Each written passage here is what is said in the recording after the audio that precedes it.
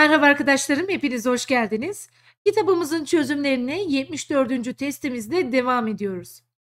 İfadesinin çarpanlara ayrılmış şekli aşağıdakilerden hangisidir? Şimdi arkadaşlar, ben burada x ve y'yi baz almak istiyorum.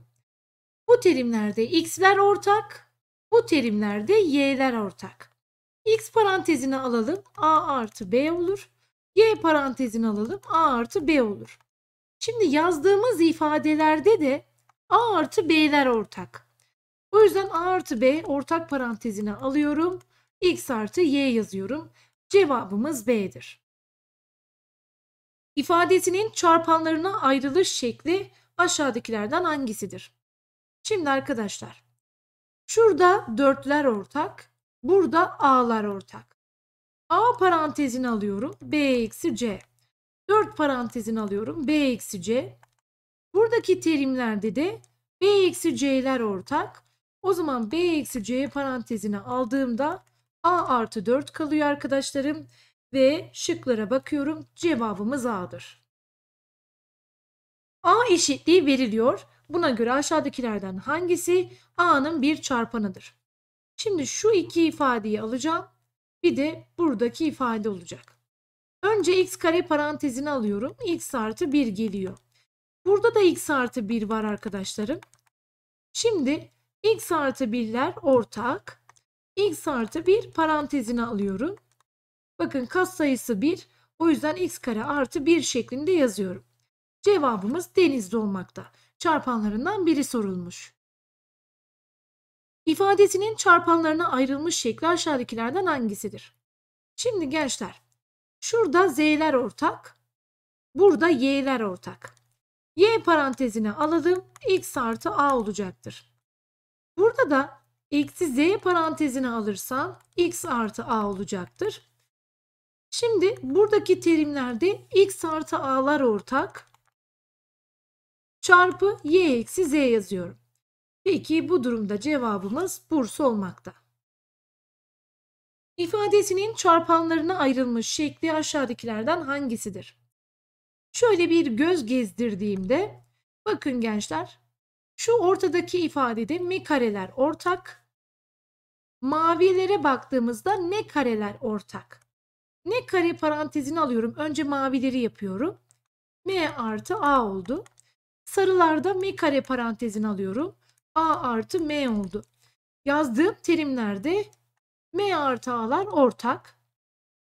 O yüzden A artı M diyorum çarpı geri kalan ifadeyi aradaki işarete dikkat ederek yazıyorum.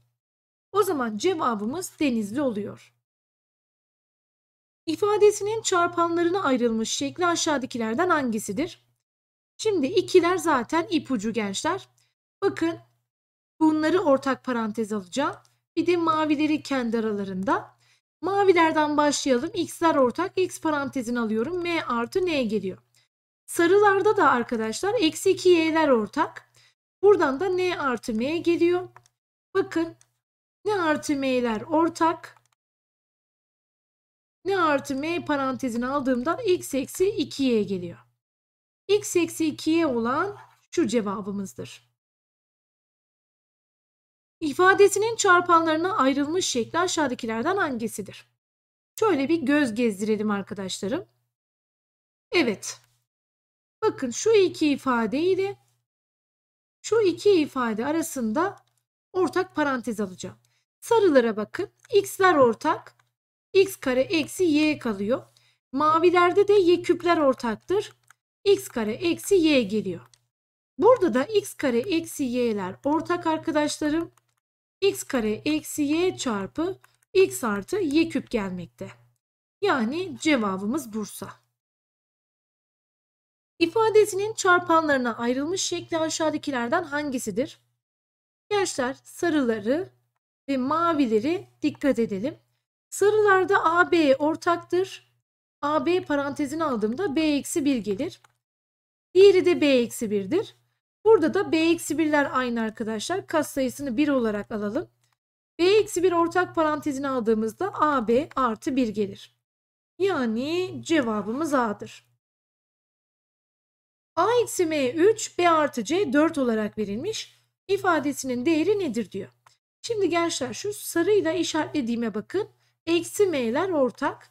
Mavi ile işaretlediğimde de a'lar ortak. A parantezini alıyorum b artı c. Eksi m parantezini alıyorum b artı c. Bu iki ifadede b artı c'ler ortak. b artı c parantezini aldığımda a eksi m'ye gelmekte. b artı c 4 olarak verilmiş. a eksi m 3 olarak verilmiş. Çarpımı 12 olur.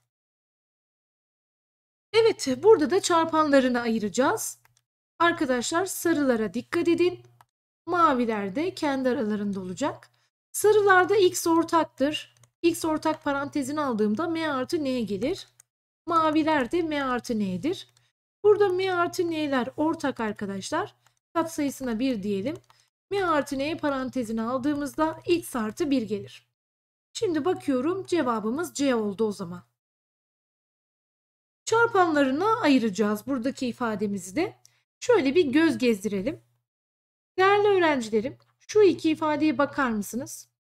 Burada 3x ortaktır.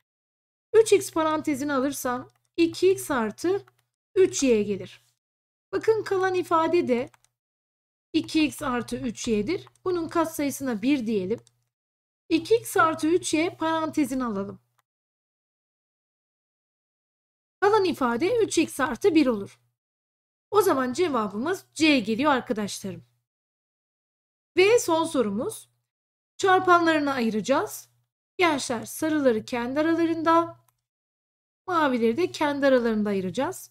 Sarılarda 3A ortaktır. O zaman A artı B kareye demeliyim arkadaşlar. Burada da eksi B ortaktır. O zaman A artı B kare demeliyim. A artı B kareler ortak. A artı B kare ortak parantezin alıyorum. Aradaki işarete dikkat ederek kalan ifadeyi yazıyorum. O zaman cevabımız C olmakta arkadaşlarım. Evet bu şekilde bu testimizi de tamamladık. Bir sonraki testte tekrar görüşmek üzere. Hoşçakalın.